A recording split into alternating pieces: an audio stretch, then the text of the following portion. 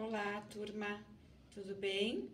Hoje a gente vai fazer a atividade da página 32 do livro de História, Geografia e Ciências. A primeira questão é da página anterior, quando a gente estava falando sobre esportes.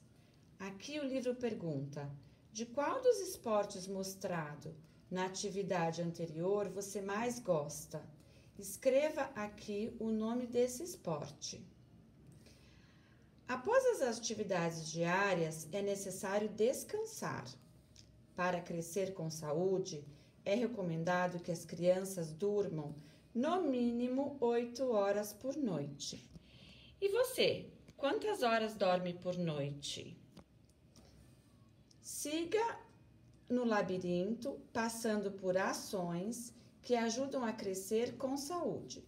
Então, aqui tem o menininho ele vai escolher os caminhos que levam ele a crescer com saúde.